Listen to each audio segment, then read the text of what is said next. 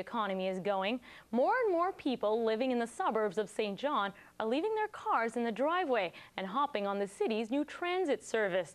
Commuter Express or COMEX buses have been on the roads for six months and they're a big hit. So what's the big draw? Well, the CBC's Chris Corday climbed on board to find out.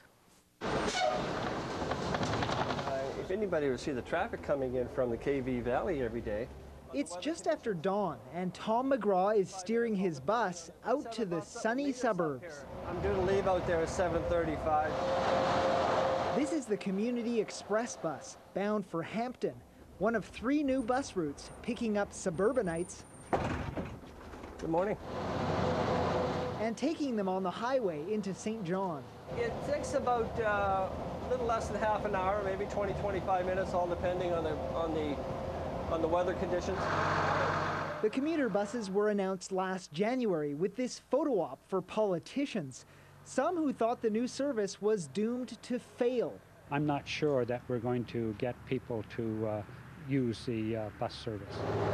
But judging by the numbers on the Hampton Express, that prediction was wrong. About 80 paying Hamptonians now get to work this way.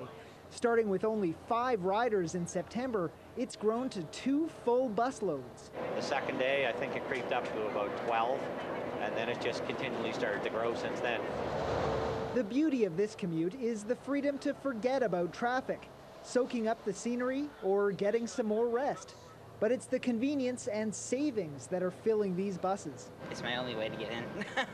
but yeah, it's cheaper. Oh, it's great. I, I walk to the bus stop, so I can get here as quick as I can, you know, scrape my windshield in the morning. St. John Transit says the 50 vehicles parked here at the COMEX stop are evidence of what the service is doing, saying each busload takes 40 vehicles off the road. So it's been extended. The difference that makes isn't lost on the driver. I remember hearing figures of 10,000 cars, you know, on a, on a daily basis using this highway here. So um, 50 doesn't seem like too much, but it's a start, I guess. the two other COMEX routes aren't as busy as this one yet. But every seat filled on these buses is part of a drive toward a greener St. John. Chris Corday, CBC News, Hampton. People, moving day is a hassle when they